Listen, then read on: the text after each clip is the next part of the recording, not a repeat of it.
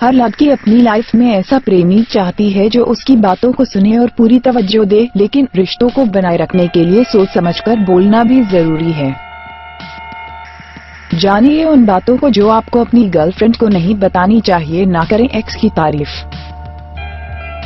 कभी भी आपने एक्स गर्लफ्रेंड की तारीफ़ न करें, इसके अलावा उसके पहनावे और कपड़ों की भी तारीफ़ न करें, हो सके तो अपने पूर्व प्रेमिका के दोस्तों से भी कोई रिश्ता न रखे इसकी तारीफ़ करें।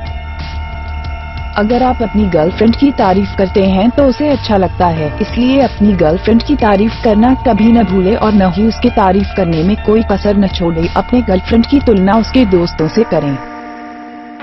और उसकी तारीफ़ करते हुए कहें कि अपने दोस्तों में वही सबसे हॉट और सेक्सी है। इसलिए आपने उससे दोस्ती की है। कितने लोगों के साथ डेट किया है?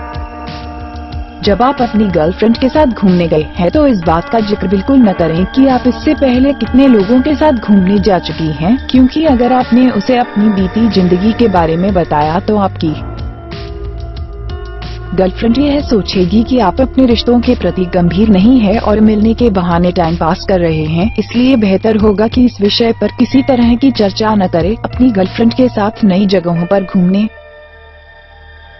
जाएँ अपनी पूर्व प्रेमिका की खूबियों का बखान करने से बचें। सा इसलिए ज़रूरी है क्योंकि सा सुनकर आपकी गर्लफ्रेंड नाराज़ हो सकती है और इससे उसका विश्वास भी टूट सकता है। अपने प्यार को परखने के बाद ही कुछ कदम बढ़ाएँ।